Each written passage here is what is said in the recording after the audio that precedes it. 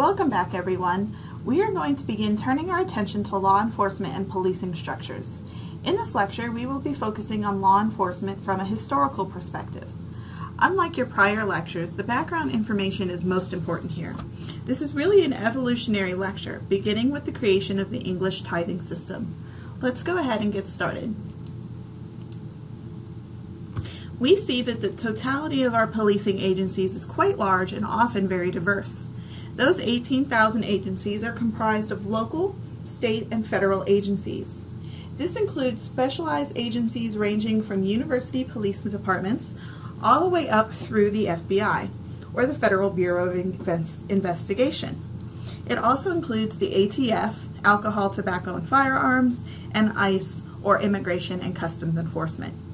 These specialized agencies have a very narrow area of crimes that they are able to go after. Often, when you get to the federal level, you have agencies like the FBI and the ATF that are working together because the cause would really involve both parties. This narrow area of power refers to the agency's jurisdictional power. So this means that certain agencies can only have the power to enforce laws in certain geographic areas for certain types of crimes and for certain types of offenders. So let's look at a jurisdictional example. Tyler Police Department has jurisdictional rights for the City of Tyler. Smith County Sheriff's Department has jurisdictional rights for the entire county. Their reach overlaps that of the Tyler Police Department. The Texas Ranger Division has statewide jurisdiction that overlaps the Smith County Sheriff and the Tyler PD. This means that the Tyler PD cannot make an arrest outside of city limits, but the, the Smith County Sheriff's Department, rather, can make an arrest anywhere inside the county. They cannot make an arrest outside of county lines. The Texas Rangers are allowed to make an arrest anywhere within the state of Texas, but their jurisdiction ends at the state line. So as I began this lecture, I told you that this was going to be more of a look at policing from a historical perspective. Like most of the country's legal system, policing gets its roots in England with the tithing system. The tithing system starts the first organized structure of policing, but it really didn't have anything to do with protecting ordinary citizens like we associate with the police today. Instead, tithing was set up as a way to protect the king's interest and to get revenge against those who tried to rise against him. But even though the purpose of organized law enforcement has changed over the centuries, the structure still has its roots within this tithing system. This is really the foundation of modern day policing, the levels of the tithing system are similar to jurisdictions. So let's look at the levels of tithing. First, we have a group of 10 families, which is known as the tithing. 10 tithings equals 100, and several hundreds equal a shire. The shire was overseen by one individual, who is the shire reeve, who later turns into what we know as the sheriff. So there is the shire reeve, or the sheriff, who oversees the entire shire. But that's a lot of ground for one man to cover, so he is going to be helped by his posses, equivalent to modern day sheriff's deputies. The posses is scattered throughout the Shire and works to keep crime levels down, and also works to apprehend criminals when they did break the law. The posse would often enforce the punishment once the criminal was found guilty of the accused crime. Jump forward a few hundred years and we get a better organized and a uniformed police force. The Industrial Revolution is famous for many things, including job growth, bringing more workers into urban areas, and the mass production of materials like steel and oil. But what happens when you start putting a lot more people into a dense urban environment like London? You end up getting a lot more crime. And as crime levels increase, so does the need to keep those crime levels low. So in 1829, we see the creation of the London Metropolitan Police Force. This is one of the strongest first examples of a metropolitan police force. It grew out of the need to supervise and govern an ever-growing population, but later adapted its needs and its roles in London as industry started to dissipate later on. It, it began with a thousand members, and they abided by the Peel's principles of policing. On page 141 of your textbook, it lays out the 12 principles that Peel expected his officers to abide by while in uniform, as a representation of their monarch. They used a military-like police structure, including ranks like sergeant and lieutenant, and a hierarchical structure. This police force really set the tone for what was about to take place in the United States. We all know that American territories were colonized in the late 1600s and the early 1700s. The colonists were, for the most part, English, so it made sense that they brought their English system of government with them. Before the Revolution, they were still English subjects and they were still overseen by the Crown. The colonists bought the constable watch system with them and originally used this style of policing. But once cities started to develop and grow, it was clear that the constable watch system was no longer working. Instead, larger cities started emulating the uniformed police force that became famous in London. Having that organization was fantastic for larger cities like Philadelphia, Boston, and New York. But then westward expansion started in earnest, and there was a lot of undeveloped territory that suddenly needed a police presence the uniformed police departments of the Northeast were not appropriate in the western rural areas of the United States. Instead, western territories and states turned to the sheriff and posse system that we mentioned earlier when we spoke of the tithing system from England.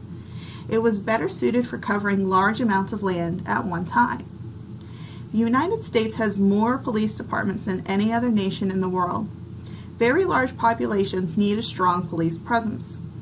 Virtually every community has its own police force, creating a great disparity in the quality of American police personnel and even service.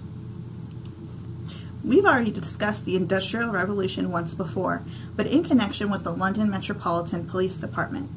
Just like what happened in London, an influx of workers were flooding cities to be able to work at the factories located there. However, U.S. cities are growing a lot faster than London did.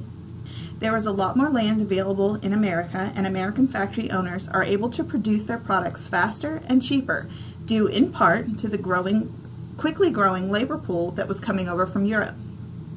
European immigration is causing the numbers to grow in a lot of these cities.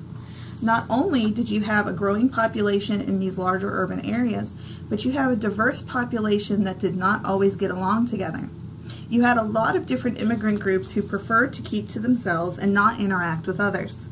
If you go to places like New York, Philadelphia, Chicago, and even Pittsburgh, you still have a lot of neighborhoods that are predominantly Polish or German and Italian and so on. During the large European immigration booms, these immigrants often stayed with people coming from their own nationality. This led to fights and brawls when others started moving into these often segregated areas. Additionally, you had a lot of the same individuals who were fighting for the same jobs. The living conditions were not ideal.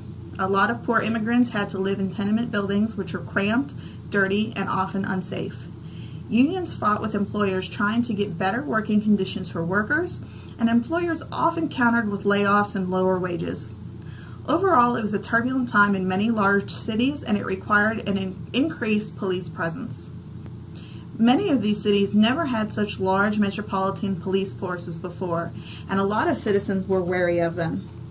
A lot of Americans were used to limited supervision and did not always welcome a uniformed police force with open arms. Therefore, the use of plainclothes officers continued, but these plainclothes watchmen did not try to prevent or even discover crime. It was not until the mid-1800s that we see uniforms start to appear. No longer are the police totally in plain clothes, but we see the establishment of a controlled appearance that was continuous across officers. We also start to see designations for the officers' ranks, much like a military structure. New York becomes the cornerstone of American police departments. Even today, it is one of the largest police departments in the United States. Not only do we see a more formalized policing structure, but we also see a lot of corruption occurring as well. The police accepted bribes and allowed for organized crime to take root in their city. But the corruption was not seen everywhere. Other cities began using the New York model in the creation of their own police departments, and by the end of the century, nearly all major cities east of the Mississippi had formed municipal police departments with uniformed officers who carried nightsticks and later firearms. This is a photo of officers belonging to the New York City Metropolitan Police Force taken in 1871. You'll notice that they are all similar, similarly dressed, sorry, in their uniforms, and they carry batons as the previous slide suggested. There are a difference in the hats that the officers are wearing. This is most likely due to a difference in rank. On page 143 of your textbook, you will notice that the differences in hats and the stripes of the officers' coats. These are also due to differences in rank. As we see policing really start to take a firm hold in the United States, we see that there isn't much regulation regarding who can be an officer, what the training criteria was, or even if there was an educational requirement. None of this mattered at the beginning when there was not a rigorous qualification standard. Today things are much different. We require officers to go through the academy, to have some college education, to pass background checks, and to pass other types of physical testing. In the 1880s, Cincinnati is beginning to recognize some of the issues that come along with hiring just anyone to be a police officer. They advertise that police officers must be men of high moral character and they must be fast runners. It's great that Cincinnati is starting to show some sort of reform so that not just anyone can become a police officer. However, having high moral character could be very different from today. For example, a police officer might beat his wife as a form of discipline. It's okay for the time period, but that's not something that any agency would approve of in 2015. Additionally, it's probably a great thing that the officers are fast. No police cars in the late 1800s, so they're going to need to be able to chase down offenders. Horses are available, yes, but remember that these large cities are full of people and horses cannot go everywhere that people go. But what about important things like education or standardized testing? Police academies were not mandatory like they are today. It was not until the early 20th century that reformers began advocating for training and education of police officers. Reformers also aimed to remove the police from political influences. However, in cities like Chicago that were being ruled by organized crime, it was very unlikely that the officers were not being bribed. Remember that there were many different influential spheres that had a hand in governing our people. It was a turbulent time, and even though the reformers had good ideas, they were not able to eliminate that corruption completely. From the early 1900s to uh, until 1972, when the Equal Employment Opportunity Commission began to assist women police off, women police officers in obtaining equal employment status with male officers, police women were responsible for the protection and crime prevention work only with women and juveniles particularly with young girls. But these women were not able to play the same policing roles that men were allowed to perform. One of the biggest roles that women were given were keeping the sexual activity of young girls in check. Remember the time period we're talking about here. Women don't even have the right to vote yet when the first women are being hired at police departments. If they cannot vote, it doesn't seem very likely that they're going to be treated as equals on a predominantly male police force. This is a picture of the first female police officers that were hired by the Chicago Police Department. Note that they don't even have uniforms like the men did. Some police departments, like Los Angeles, chose to provide the women uniforms. At this point, Chicago was not one of those departments. Chicago's police department's first female officers in 1913, their starting salary for a policewoman was $75 a month and each officer was assigned an area to patrol. It often included a beach, a park, a bus terminal, a railway station, or a dance hall. Their duties included protecting girls from unsavory types who might lure them into danger and arresting girls for wearing questionable swimming costumes at the local beaches. To some extent, Americans have always been somewhat opposed to police and have been at odds with their role. We are currently seeing that more and more across the country in the last few years. But since the first metropolitan police forces were created, we have never really known what role we want the police to play. Do we want them to be keep peacekeepers or social workers?